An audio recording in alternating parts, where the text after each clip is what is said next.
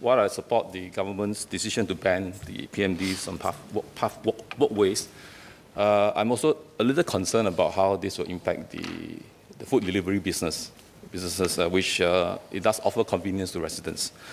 Uh, so I want to ask the SMS how he see this decision affecting the food delivery businesses, and more importantly, the, uh, the, the PMD riders.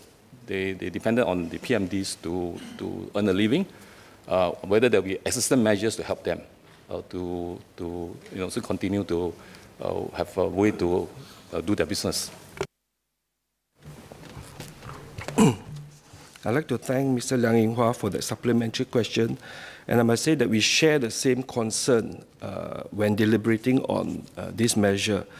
Uh, we have uh, been engaging the three major food delivery companies, uh, Food Panda, Grab Food, as well as Deliveroo.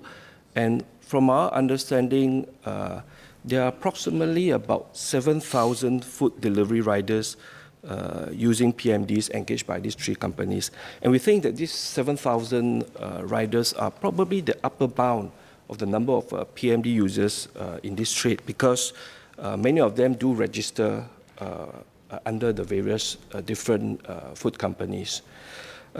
we also understand from the food delivery companies that less than 30 percent of the deliveries are actually done uh, using PMDs.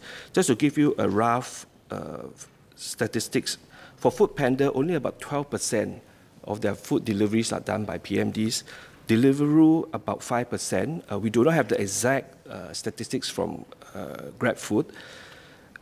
And we are encouraging uh, the food companies and working with them to see how we can convert uh, many of these PMD uh, delivery, delivery uh, personnel to either uh, using motorcycles uh, or using bicycles.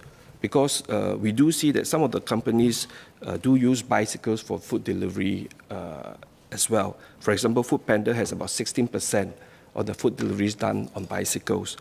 Um, for those uh, workers who are unable to convert uh, to either bicycles or motorcycles for whatever reasons, uh, we'll be working with the food delivery companies together with uh, WSG to assist them and see how we can uh, look for alternative uh, jobs for them.